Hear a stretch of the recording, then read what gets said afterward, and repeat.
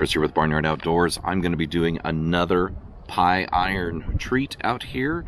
This time it's lunch, and for lunch, I had to get myself a double pie iron. So, um, this is an interesting one because I tried making a pizza pocket uh, a few months ago, and it didn't work out that good. I think I posted some pictures on a Facebook group, but it uh, it didn't turn out the way I wanted, and it wasn't wasn't worthy of a video.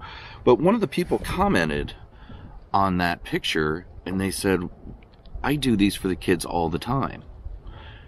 They do it in a double pie iron, and what they use is a Tostitos pizza. This this is brilliant. This is a frozen pizza. It's actually thawed out a little bit. You need it thawed out for this to work, right? It's got everything I need on it. I just need to cook it. And I'm going to cook it in the pie iron like it's a, a calzone, right? I'm just going to fold it over and make a pizza sandwich out of it. This is this is stupid simple to do. I always overdo it on a lot of my pie iron recipes. This is going to be another one that's just super simple, especially if you got kids with you, or if you just want a whole bunch of pizza, right? Which is what I'm going to do. In the mood for a lot of pizza.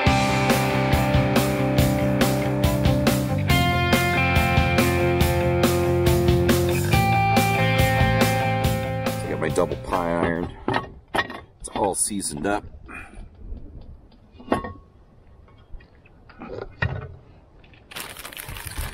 And I'm just to take this pizza, stick it in there and fold it in half. I got the combination. I wanted some variety. But look at this. This is the, the perfect size for this double.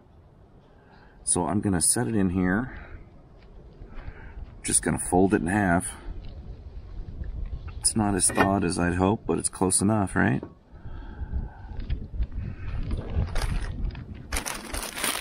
And that's it. All right, fold it in half and secure it in the pie iron.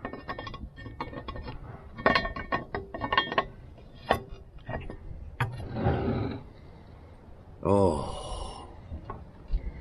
I got a little pizza coming out the side, that's all right. Sometimes pie iron cooking can be a little messy. And the best part is, is that piece there. I'll show you that'll that'll just burn off. That'll not a big deal. Other than that, it fits in there nice and snug. I'm gonna go put this on the fire. I'm gonna put it up on the grate because I do want to make sure all the meat cooks. So uh, it's gonna have to be kind of low and slow. I think is gonna be the way on this. So I don't want to burn it. Remember to flip it often. Um, like I said, the pie iron is already seasoned. It's already got oil in it. It's ready to go. So I just got that setting up on the grate. Got some good coals and some flame under there. All right, it's been about three minutes. Let's flip it over. Look at that. Oh, that looks pretty good so far. All right, it's been uh, it's been about 12 minutes, and I've been flipping this every three minutes. So let's see. Oh, look at that. That looks cheesy, but I still think it's going to need just a little more time. Let's see what this side looks like.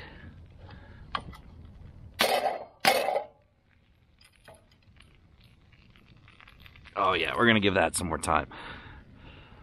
Low and slow. All right, I'm gonna call this thing done. Look at that. That looks delicious. That is perfect. So, getting this onto the plate is gonna be a little challenging here.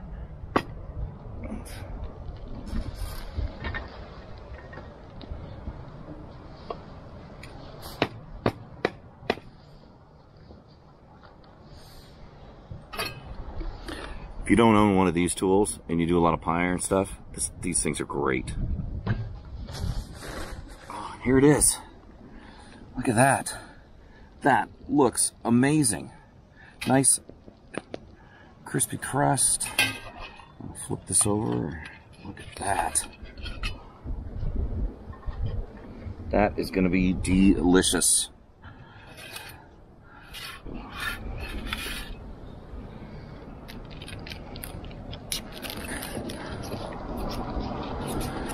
Course, cars always have to drive by when you're doing stuff like this. We're surprised how busy this park is with people just kind of driving around, checking it out.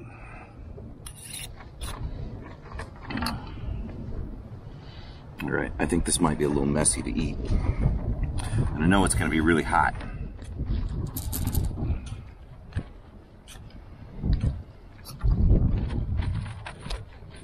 Mmm, cheese.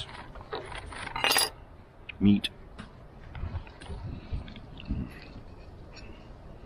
And pizza. Wow. That is really, really hot. All right, let's try this out. Hot, hot, hot.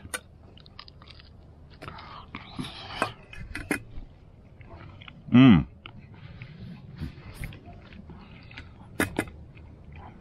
Mmm. It's like a giant pizza roll, also made by Totino's. Great pizza. Oh, this is this is really good. Really hot too, which is good because the wind's starting to kick up.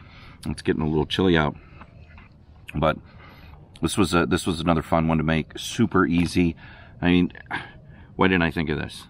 Frozen pizza, thawed out a little bit so you can fold it, fold it over, throw it in the double pie iron, and you've got a whole pizza. I mean, I'm gonna eat the whole pizza. This would be good for kids if you got a lot of people eating, but you know, you don't get a body like this by just eating a piece of two or pizza.